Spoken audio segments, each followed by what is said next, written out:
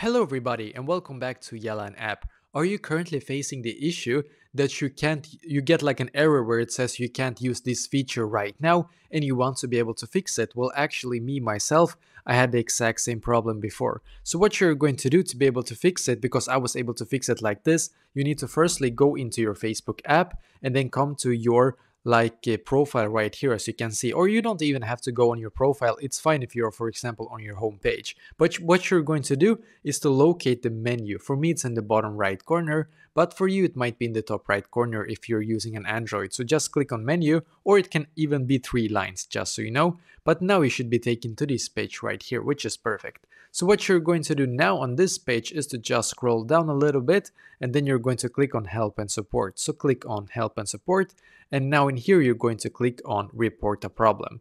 And then once again click on report a problem then click on include in here as you can see because now you should be taken to this page right here which is which is uh, perfect. So now just scroll down a little bit in here and click on profile in here. So click on profile because then you should be taken to this page. So now what you're going to write to them is like this.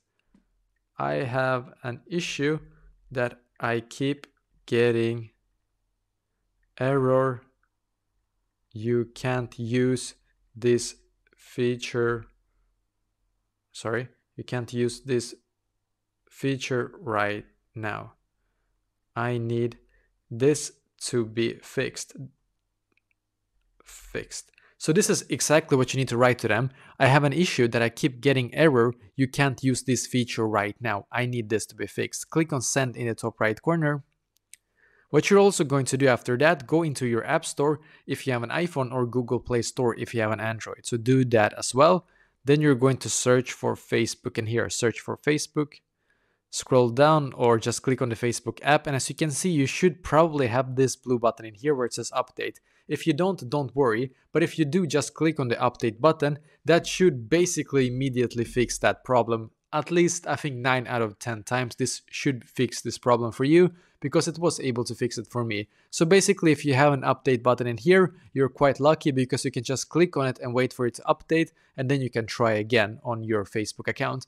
But if you don't have the update button, you will need to probably wait one to two business days to be able to get it and then hopefully it will also be fixed for you.